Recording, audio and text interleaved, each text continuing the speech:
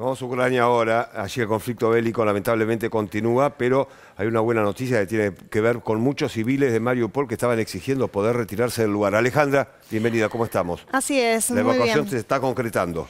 Sí, eh, hablábamos la semana pasada de esta mediación que intentó hacer Antonio Guterres, el secretario general de la ONU, viajó a Moscú, se reunió con Putin y también a Kiev se reunió con el presidente ucraniano Zelensky justamente para tratar de acordar entre ambos presidentes algunos corredores humanitarios para que los civiles pudieran salir de Mariupol. Recordemos, Mariupol está completamente tomada por las tropas rusas, pero había quedado una fábrica metalúrgica, un predio que es muy grande, tomada por las fuerzas ucranianas, los nacionalistas del batallón de Azov y muchos civiles en su interior. Bueno, se llegó a un acuerdo el fin de semana y se pudo ah, empezar a evacuar a estos civiles. Rusia decía que ya habían salido algunos civiles, que eh, Ucrania estaba mintiendo en el sentido de que eh, no podían salir antes. Bueno, por otro lado, también Rusia lo que dice es que eh, si no podían salir los civiles eran porque los milicianos ucranianos los tenían como escudos humanos.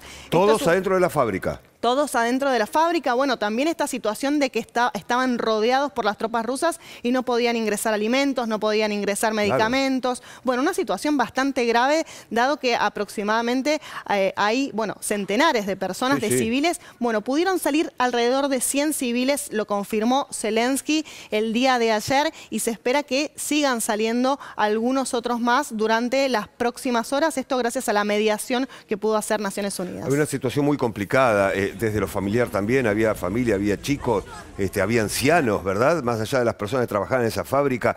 Bueno, prácticamente parte de la ciudad se concentró en esta fábrica.